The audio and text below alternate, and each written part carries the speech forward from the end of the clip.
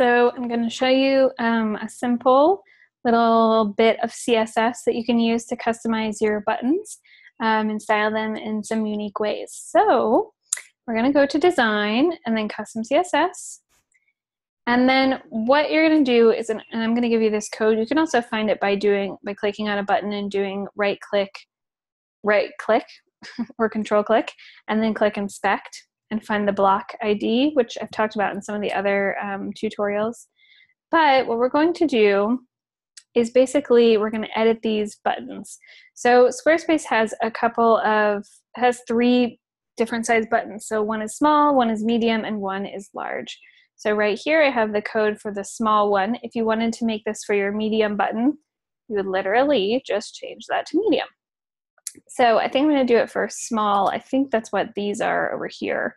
Um, and I'll show you a couple things you can do. So um, one of the things that you can do is you could change the background color. Now this is kind of, you know, you can do this in the style editor, so it's not really necessary, but if you wanted to do it custom code, you do background color and change to, let's say, I'm gonna change it to pink, for example. Um, I'm gonna change this until I figure out what button that is. Cool. Okay, so now you'll see that it's pink.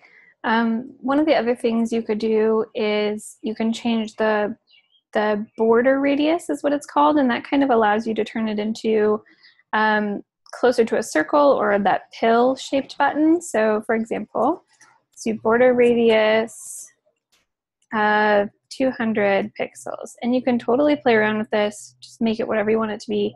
The higher the pixels go, the rounder it is. And it's still, it's not going to round all the way if you have a lot of text here. So just keep that in mind. The less text you have, the, the rounder it will be.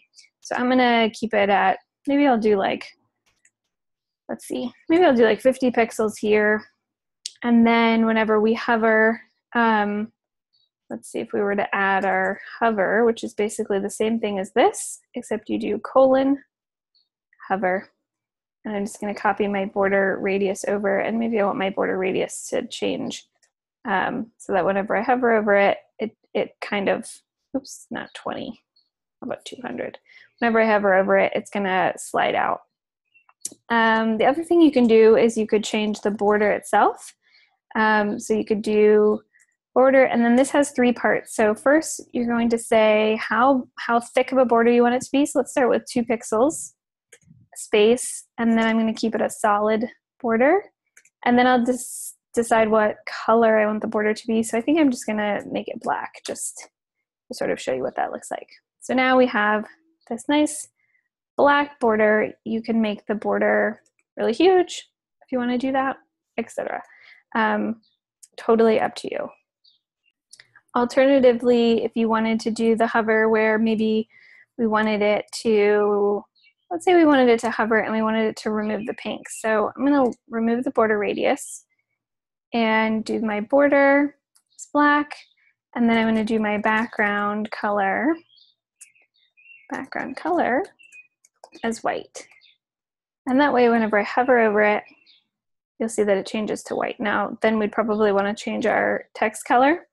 So the way to do that is color, colon, and then maybe we'll just make it black right? So now when I hover over it, it changes like that.